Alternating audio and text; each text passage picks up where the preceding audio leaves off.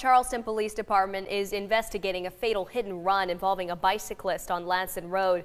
Officials say this incident took place around 10:30 Wednesday night, and when officers arrived, a male was found dead in the roadway, and the vehicle had fled the scene.